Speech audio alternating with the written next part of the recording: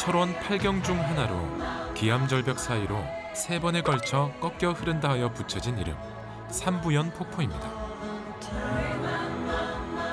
겨울 추위도 폭포의 거센 물줄기를 다 막아내지는 못했는데요. 새하얀 얼음을 뚫고 수정처럼 맑은 비경이 쏟아져 내립니다.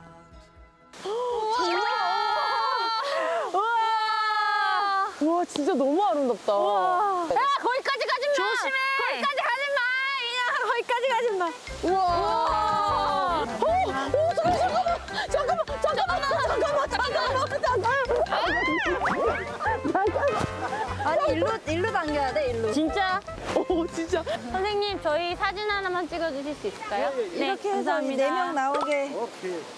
여기 사진 한대. 아 진짜요? 아, 진짜. 왜 왜? 사진 사실에. 괜찮아, 진짜? 어, 나물 위에 앉을래.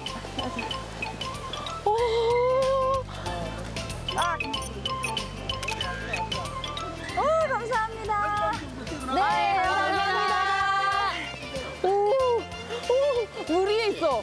오늘 완전 다른 느낌이야. 우와. 야 이거 대박인데? 한번 넣어보고 싶지 않아? 어? 나왔어. 폭포가 나왔어. 폭포가 안 나왔어.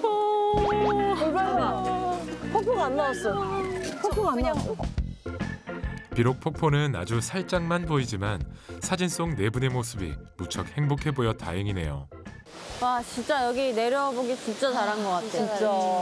또 아니. 위에서 봤을 때도 진짜 멋있었는데. 이렇게 보는 뷰가 장난 아니야. 와. 근데 이 뭔가 만약에 장엄함이 있어. 올해 진짜 좋은 일이 있을 것 같은 기운이 생기는 진짜 장관이다. 맞아. 잠시 멈췄기에 마주할 수 있었던 풍경. 오래도록 기억될 추억과 함께 좋은 기운까지 듬뿍 얻어보는데요.